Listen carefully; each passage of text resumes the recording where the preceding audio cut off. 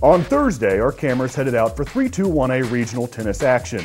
The top four singles and the top four doubles finishers each move on to sub-state action. Our first side of action was in Ellsworth. Ellsworth hosted players from Quivira Heights, Ellinwood, Ellsworth, Hoisington, Salina Sacred Heart, and Claflin, who was ranked fourth in the Kansas Coaches Association on Monday. In singles action, it was Salina Sacred Heart's Morgan Hale in fourth place with a record of 12-2.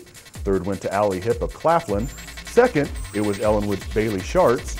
In first place, with a season record of 22-3, it was Salina Sacred Heart senior Maureen McKinsky. Now moving to the doubles action, it was the Hoisington team of Carissa Kaiser and Lindsay Nye in fourth.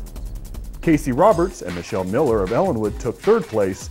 In second, it was Morgan Heckley and Courtney Liebel from Claflin. First place went to their teammates, Karina Hickel and Sarah Hickel, whose season record is 26-3. All these girls move on to Substate in Hillsboro on Saturday.